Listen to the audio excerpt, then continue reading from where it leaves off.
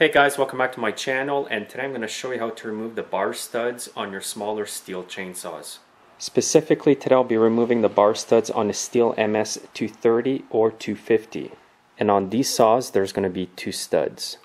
What I have in my vise here is the actual part from an MS250. It's the identical part as the 230s I just showed you. And I noticed the studs are still on, so it's a good opportunity for me to show you how to remove them from this part here. First of all, obviously you would have to remove the bar and chain, so just remove the two nuts over here. The cover is going to come off, and then you can just remove the bar and chain. Now, if you don't plan on reusing your bar studs, the easiest way sometimes is just to use a pair of vice grips. And all I'm going to do is clamp the vice grips on the stud. Now if you don't plan on reusing the stud, you can put your vice grips on the threads, it doesn't matter.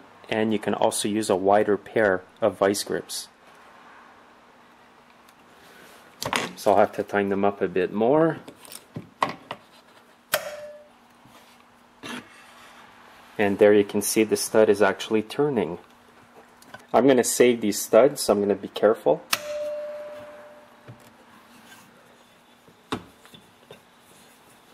And the threads are very coarse because all it does is screws into plastic. And here's what your bar stud's going to look like.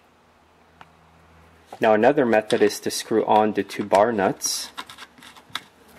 I'm going to put the first one right to the bottom and I'm going to put the second one on top. And now with a 19 millimeter or 3 quarter wrench you can hold the bottom nut and tighten up the top one. And now you want to grab on the bottom nut and unscrew it.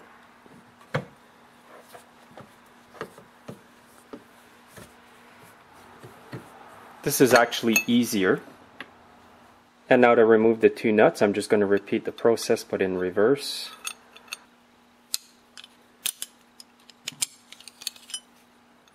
Now if the bottom nut doesn't want to come off, just put some vice grips on the collar and it makes it a lot easier to get it off. And by removing the studs with the two nuts, there's a lot less damage on the stud. Here you can see the vice grip marks on this one, and the other one is nice and clean. And now I'm going to show you how to reinstall the bar studs, and I'm going to use the two nut method to do that. One quick tip, when you reinstall them, you could use some blue Loctite just to make sure that they don't come loose again. I'm just going to screw on the two nuts.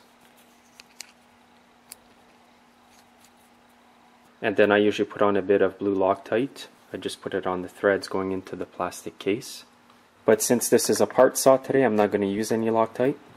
Now you can start it off by hand. And then with your 19 millimeter wrench, you can just tighten it up.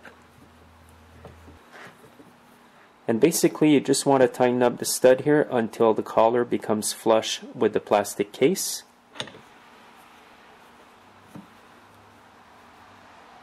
And I don't know the exact torque, but just use common sense.